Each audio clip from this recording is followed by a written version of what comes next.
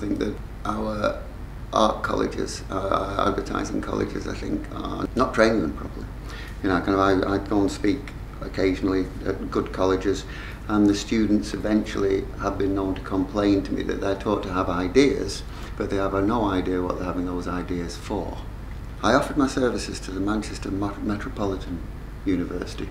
I wrote to them, I was doing nothing, I, I was at a loose end, so I thought I'll pop in and give a few talks to people. And the woman at the Manchester Metropolitan, Dr. Ruth Ashton, um, I, I want you all to email her and um, ask her to show you a book or a case studies of work she's ever done. Because no one on the, on the, no one it would appear at Manchester Metropolitan University who teaches in that faculty has ever worked in an agency or on the client side.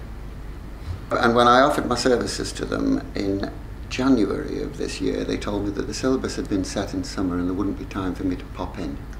They couldn't make room for me. So, you know, kind of um, not even, I said, lunchtime, I don't want to be paid you know, kind of like I, I will do it in the lunchtime, and they couldn't accommodate me.